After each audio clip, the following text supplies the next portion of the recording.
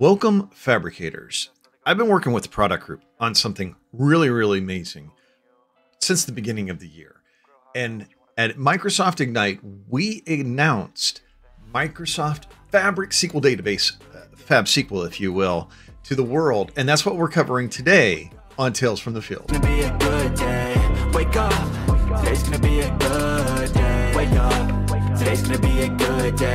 Wake up. Today's gonna be a good day. Wake up. Gonna gonna. Fabric SQL Database, Fab SQL, if you will. I'm to get that trending.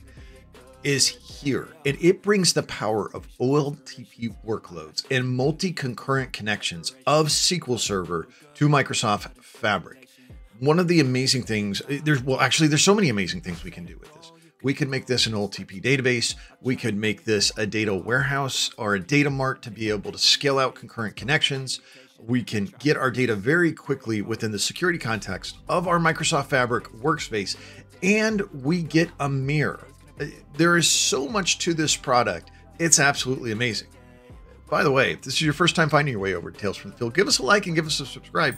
We drop content on Mondays, Tuesdays, or Wednesdays. Uh, today is Wednesday. It's an MS Tech Bits. So we are here to talk about technology, specifically Fabric SQL Database. And I got to tell you, I don't want to talk about this. I want to show it to you. So let's get over to that great content. All right, I'm in my Fabric tenant and I'm going to select New Item, SQL Database Preview. I'm going to name it something simple, exactly what I want it to be, AdventureWorks LT, because we're going to use the sample with this. I'm going to provision the new database. As you can see, it starts up in seconds. Let me get rid of this warning on my trial. And then I'm going to come over here and I'm going to get my sample data. Let's go ahead and click that. It's going to load. This may take a couple minutes. I fast forwarded through this so we can just get right to it. But you can see now I've got my sales LT schema and I've got my tables listed. If I expand this, one of the nice things is just like we've got in Fabric, now I've got it for Azure SQL Database. I can click on a table and boom, I get an immediate appearance. I get a preview of it. So there we go. There's customer's address, customer address. Uh, we've got a lot of great things. Also, we've got Copilot. So let's go click get started. And this is the same experience that we've got Microsoft Fabric. Let's ask a question. I want to join uh, a my customer, my customer address, my address table together. Give me that query. And boom, there's a little fabric magic right there. We get a nice query. Let's go ahead and grab that. Let's make a new query, paste it in. And as you can see, the query editor also has Copilot intelligence in place. Well, fantastic. I, I return this just fine. It's quick. It's what I would expect for a SQL. But let's go over and let's monitor replication because we are mirroring all of this database into our Microsoft Fabric workspace. And I can see there's my tables, there's a great count, everything's looking really, really good. So now let's kind of test this out, right? Because I always get the question with mirroring and with replication that we're doing, how quick is it? So let's create a table. I'm going to create a table. My table one is going to be a very simple one. My ID, identity integer, one uh, over one. Uh, so that way we're going to increment by one every single time. My char, char 50 default of A, my varchar default of 500, but I've only got about seven or eight Bs I'm replicating right there. I'm going to create that table, and now let's do a loop, and we're going to insert about 500 rows. I'm going to say declare i and declare x, both as int values. I'm going to set i equal to 0 and x equal to 500. We'll do a loop. We'll insert 500 rows. I'm going to say while i is less than x, we're going to have our begin and end. I love the intelligence just popping up in here. And then I'm going to say insert into DBO my table one default values. Didn't know you could do that, did you? Uh, and then I'm going to increment my loop, otherwise it'll go forever. Set i equal i plus one. Let's go ahead and run this. And again, the performance I would expect from SQL Server within seconds, I've got my 500 singleton rows in place. I expand my DBO schema. I can see there's my table one, but let's go check out the replication for this. When I look at replication monitor, I can see my table one, the scheme is already in place. We don't have any records just yet, but that's probably coming pretty quick. As a matter of fact, if I go up and I refresh, let's see, boom, more fabric magic. My 500 rows are already there. Fantastic stuff. Okay, so we've got this, but let's say I want to take a look at this, but I don't want to look at it in the fabric interface. I want to look at it in SSMS.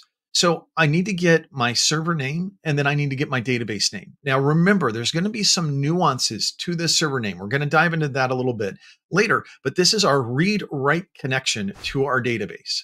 And I'm going to come in SSMS dark mode. That's right for 21. I'm going to put in my server, but here's the thing for the database, because this is Azure SQL database, we are authenticating directly to the database context. So I need to go to the connection properties. And then I need to put the database name with the GUID that we saw associated with it. When I hit connect, this is my database. This is my read write database. I can come in here. I can see because it's the context, I only have my single database that I see. And I open up my tables and my tables are in place. There we go. There's everything from the sample data all the way down through to the table I've created. And I can run my quick query over here, select star from DBO, my table one. And just like I expect from SQL Server, lightning fast, this comes back.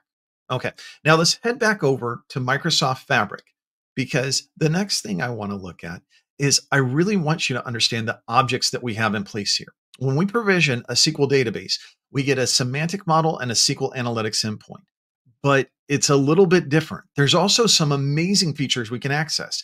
Get refresh, open query performance summary restoring a database managing permissions we are going to get all to, uh, we are going to get all over these in later videos but right now i want to focus on these individual objects because there's a semantic model and a sql analytics endpoint and this is a concept that we really really have to understand i'm going to start out by going to settings and i get my sql endpoint and it is the sql endpoint i use for my lakehouses for my data warehouses and if I go back over to SSMS, I can punch this in, but I want to see the differences here.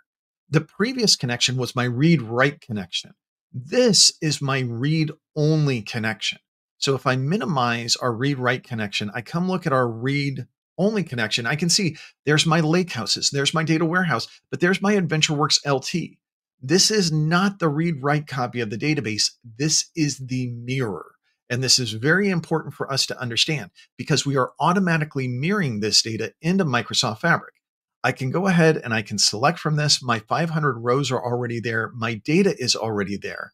But it is key for me to understand this is the mirrored data. So what do I want to run off of this? Well, I want to run on my analytical workloads. I want to offload my read write report or my read only reporting on this but I want my read write, my application interface to go to my read write connection.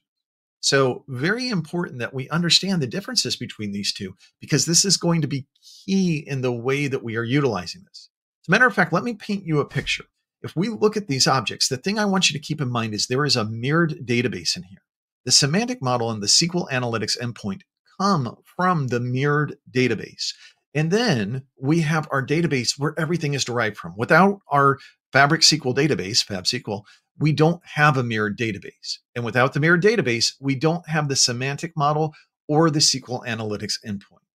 So these things are really, really key. But at the snap of a button, we've got a database and we've got the capability to be able to stand this up and use it and have this data auto replicated to our one OneLake in Microsoft Fabric. This is absolutely massive, and I'm so excited about this. You know where we want to keep this going? Down in the comments. So sound off. Are you excited about this? Have you worked at all with Fabric SQL? Are, are you playing around with it? What are you looking at doing? There's so many things I can think of. Uh, metadata databases to be able to do metadata driven frameworks for our pipelines and ETL and Microsoft Fabric. We've got data mart capabilities. We've got the capability to have OLTP systems where we can reconcile that data immediately into Fabric.